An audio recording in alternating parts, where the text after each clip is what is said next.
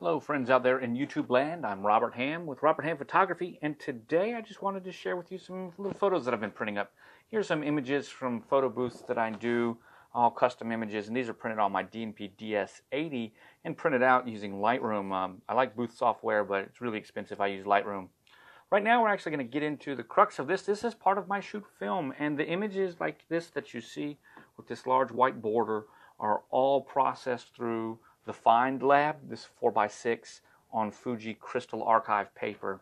These particular images were photographed. Um, they were using my Canon EF um, and uh, Fuji Superia 200 film.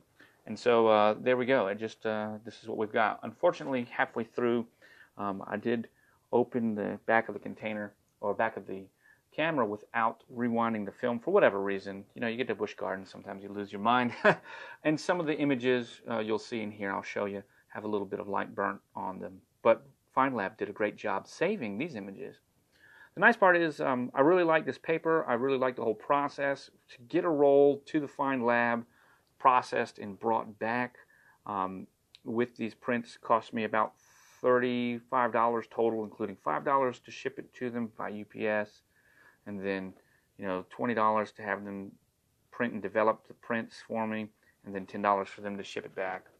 Um, there's some of that light leak that you see right there, but they were able to save it. Here's one of the most beautiful images that came out of there. I had a great time walking around. I think film um, is something. I mean, this is really quite interesting to me, and I really enjoy it. So, not only did I have a good time uh, photographing the images, the Find Lab did a, the Find Lab did a good job fixing my images. These are taken from a Canon, excuse me, a Pentax KX. They're printed on the DNP DS80, the 3x5, and they're just uh, have a little quarter inch border that I put on there. And I use the matte setting when I printed it on the DNP DS80. You get that uh, ability if you've got a Windows machine and, and the current update. And I really, really quite enjoyed it. Once again, Fuji Superia 200. Um, both of these uh, sets of images on both cameras, I was using a 50 millimeter lens. Uh, here's something interesting. I decided to do some things uh, with the Find Labs processed version that they sent me, plus printing my own and editing the, the image that they sent me. So here we on the left, the Find Lab. Here we have on the right my edited image. So the left is what I got from the Find Lab. The right is what I printed on my DNP DS80. And you know what? I can't tell which one I like more. I like the, the blue saturation I was able to bring back into it on the right, but I also like that faded, old-timey kind of look.